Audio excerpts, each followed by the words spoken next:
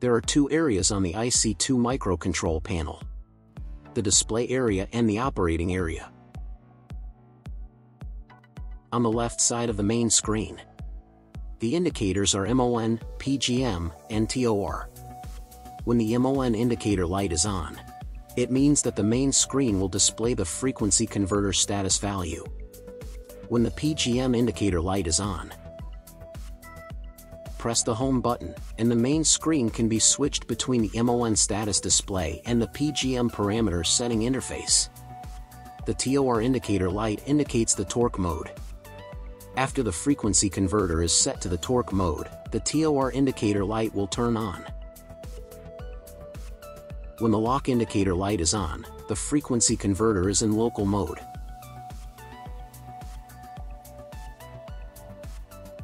Pressing the REM log button below switches between local and remote modes. When the lock indicator light is off, it is in remote mode. When the rev indicator is on, the motor is in reverse rotation. The ST2 light indicates parameter setup 2 mode. Since it's off, the system is in setup 1 mode. The screen displays the frequency converter's status parameters which can be monitored. RF stands for the reference value. Press the down button to view status values.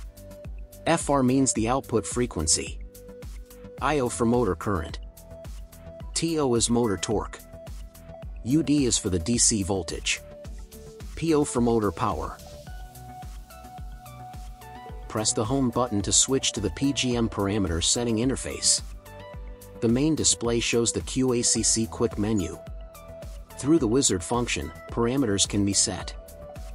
To start the motor, press the down button to access the full parameter menu par, which represents the complete parameter menu. We can see the 10 menu groups in the IC2 ranging from G1 to G10, where parameters can be read and set.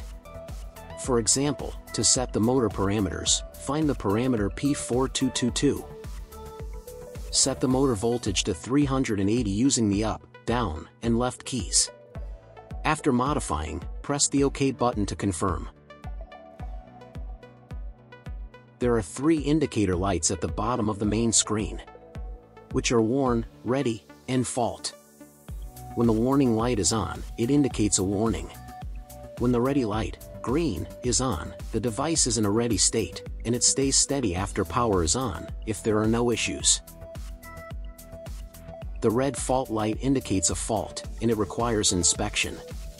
The potentiometer knob can be used for setting the input reference value.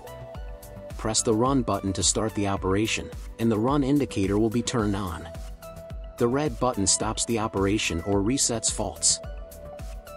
The IC2 frequency converter can also be operated by an external control panel.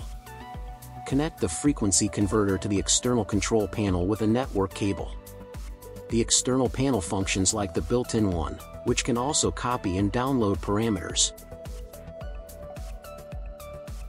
Open parameters 6612 and select All to LCP to copy all parameters to the external control panel.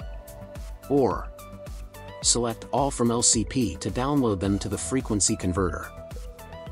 Now you know how to operate the iC2-Micro frequency converter.